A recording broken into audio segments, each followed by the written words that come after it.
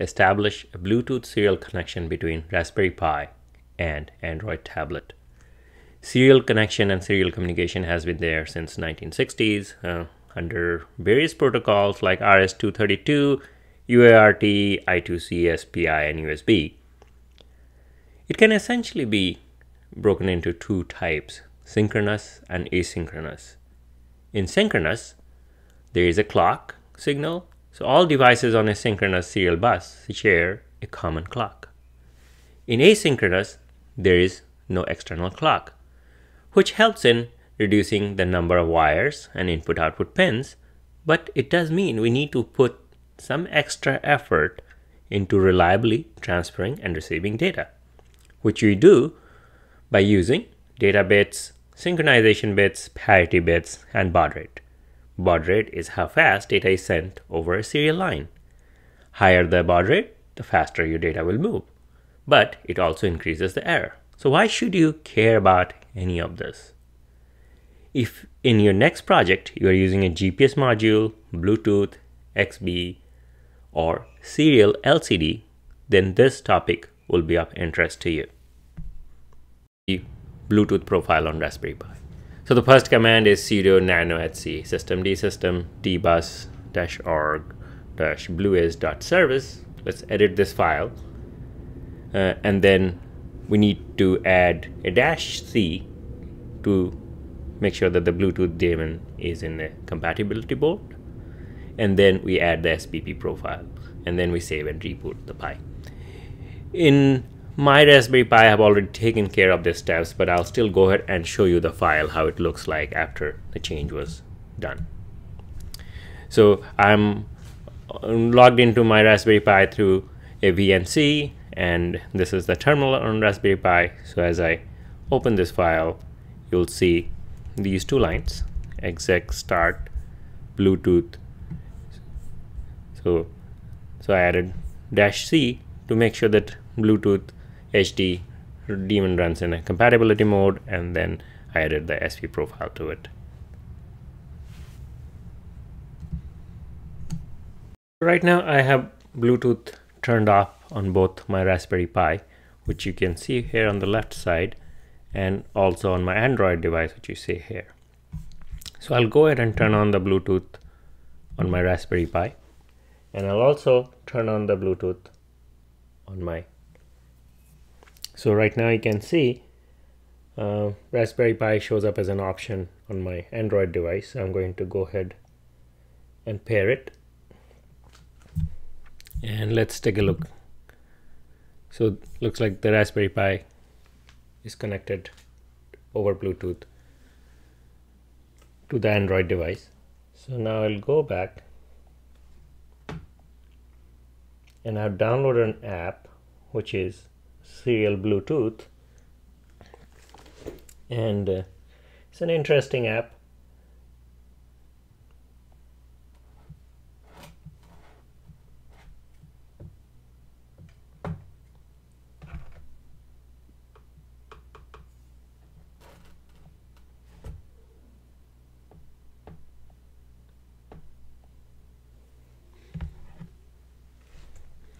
So as you can see here it shows it works with the Bluetooth LE and also Bluetooth 2.0 st standard SPP profile like HC-05, HC-06, and so on.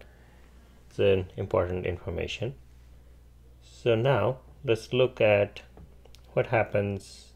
So what do we see in devices? So Bluetooth is disabled. Bluetooth LE there's nothing in here so we'll go back to our settings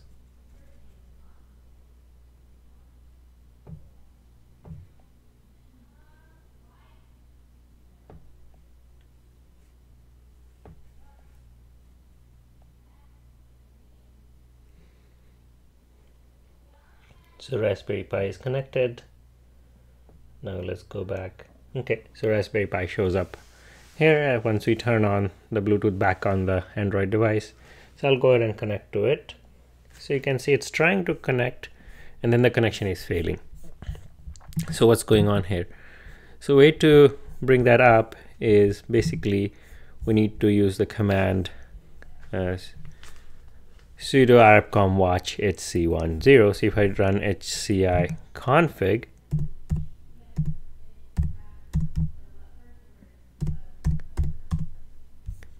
it shows the device number which is HCI0 so now I'll go ahead.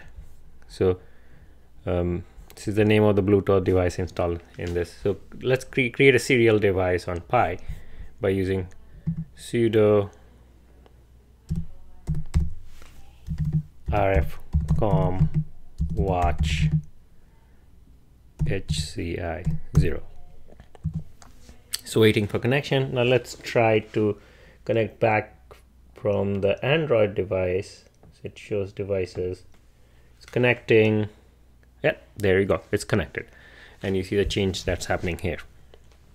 So we have established a serial connection between the Android and the Raspberry Pi. So now uh, this is the latest version of uh, Raspberry Pi so if you want to check the version, you can do cat etc os releases.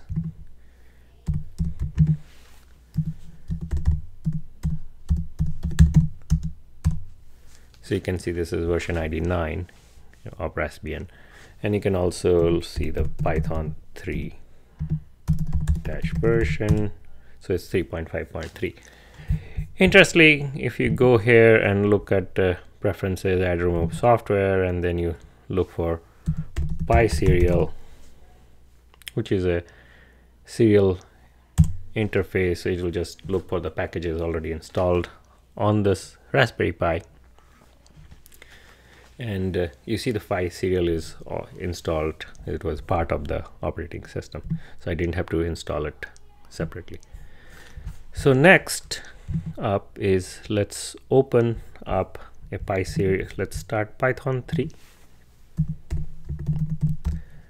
and then we import serial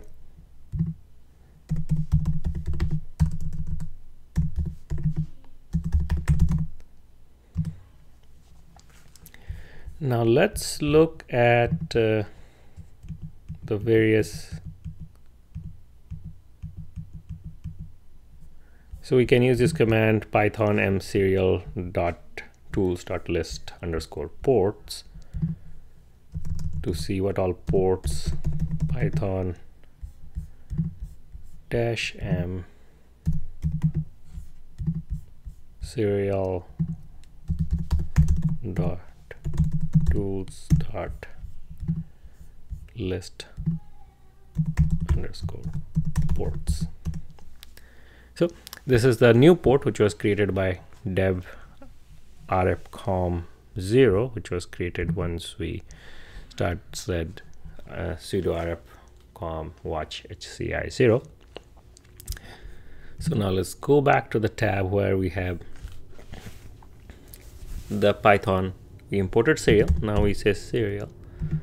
Declare a variable serial dot serial and then we look at the tab rfcomm 0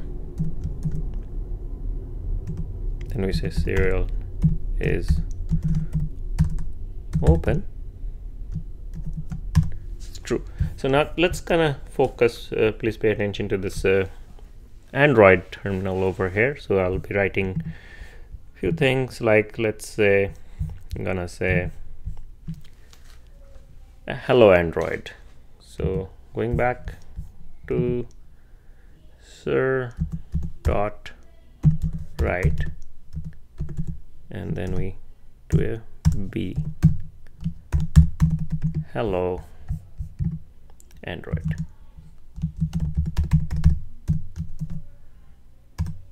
So it says the 13 characters and hello android gets printed here.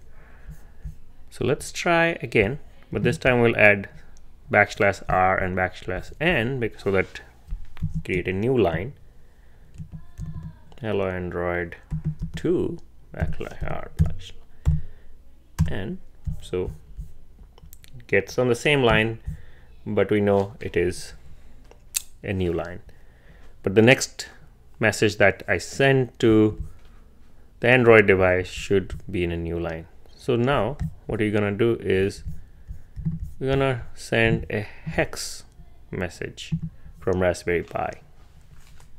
So we're gonna write sir dot write sir dot write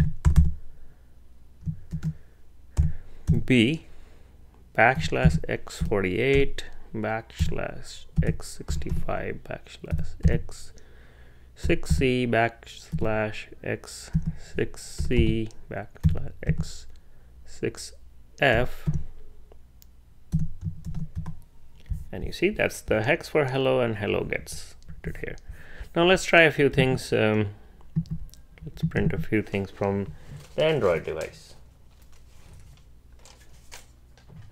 Let's say hello raspberry Pi. And then on the Android side we did that and now we do serial.read line. Okay hello raspberry pi. Now let's try hello raspberry pi test. One two three. We send that to a read line here.